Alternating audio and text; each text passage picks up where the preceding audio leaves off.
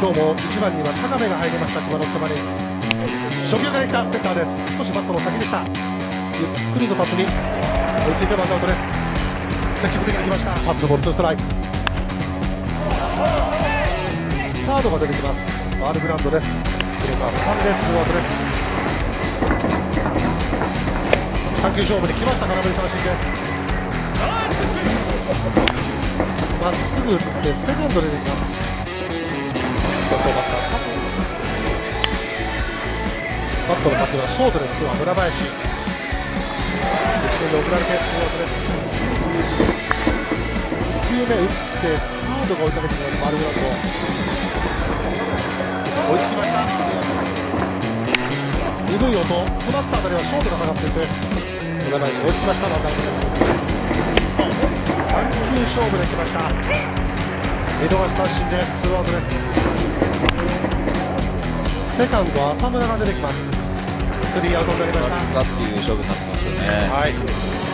お手元のあたりファーストが抑えますベースカバーピッチャー田中が入ってワンアウトです。きますからね。ドボール合わせたバッテリーはライトです。いろんな工夫してますよね。サードが落下点です。黒川が掴んでスリーアウトになりました。バスターできましたけれども空振り三振です山口三振でワンアウトになりました。バッテリーの攻め方どうだったでしょうか？いやしっかりねあのバスター。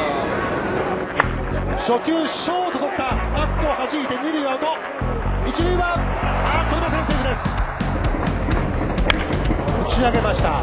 センター下がっていきます。こちら向きです。これあるので。ええ。キーマンの田辺をのコントロール効かないのかなと思いますね。はいはフェアです最後は外振らせましたセンターです。辰巳が追いつきます。セカンドランナータッチアップの構えだけです。サードゴロになった。二塁アウト。一塁アウトでダブルプレーです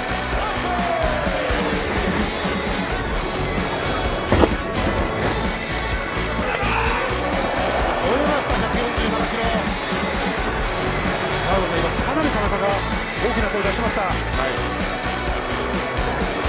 その前でずっと皆さん今日バッター6つ目の三振で高で初球打ってレフトです。西川掴んでスリーアウトになりました。ファーストが出てきます。で田中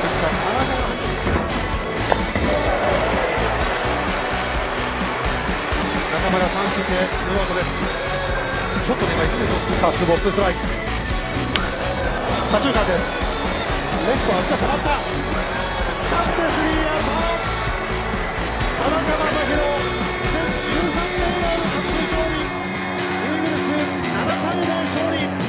これで引き分け1つを挟んでの連勝が11に伸びました。